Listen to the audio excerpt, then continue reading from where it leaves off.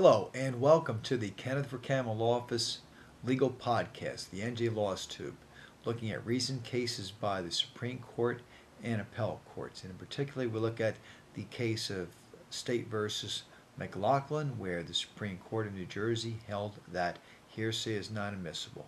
The Supreme Court held because the state of mind of the declarant of the hearsay offered here was not directly relevant to the prosecution of the defendant, and the hearsay statement itself, without redaction, imputed to defendant the intent to commit a crime, its admission was an error.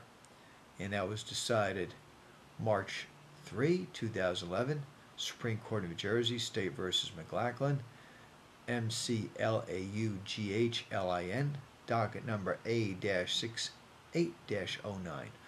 For other information on criminal cases, visit website njlaws.com or benotguilty.com. That's B-E, not guilty.com.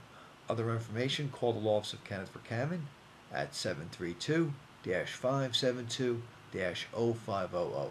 Thank you and good luck.